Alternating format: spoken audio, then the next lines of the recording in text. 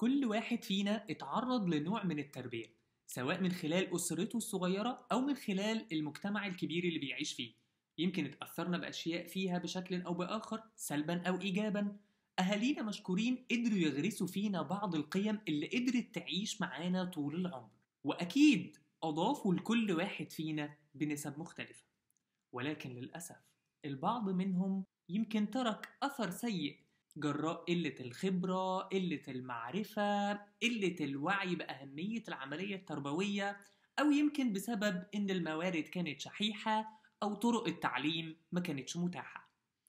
لكن دلوقتي الوضع اختلف، مهما اختلفت طرق التنشئة اللي تكون كل واحد منا فيها إلا إنه هيظل بيجمعنا كلنا شيء واحد وهو إن كل واحد فينا بينشد الوصول إلى مرحلة السواء النفسي والفكري والسلوكي. محتاجين ده لينا قبل أولادنا وقبل ما نفكر في المجتمعات أو الأسر اللي عايزين ننشئها.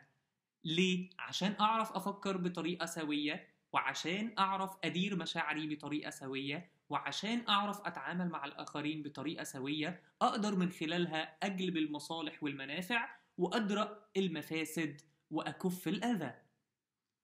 كورس التربية بالقرآن بيحاول يأسسنا في الثلاث جوانب دي بالتوازي. لأن لو أي جانب فيهم حصل فيه خلل عندنا للأسف هتكون عاقبته وخيمة.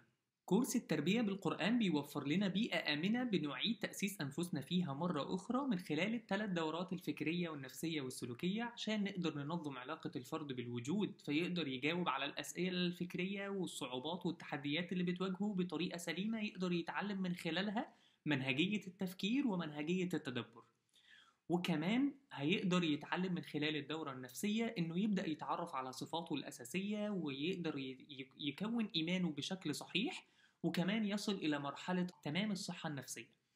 وكذلك في الدورة السلوكية نقدر نتعرف فيها على المدارس والنظريات السلوكية وعلم النفس السلوكي وكيفية تعديل السلوك وكل ده هيتم بالمقارنة بين العلوم القرآنية وبين ما توصل إليه العلم الحديث في عصرنا الحاضر. كل ما هنعرف أكتر كل ما هناخده أكثر مقدرة لمواجهة مشاكلنا والتحديات والصعوبات اللي بتواجهنا.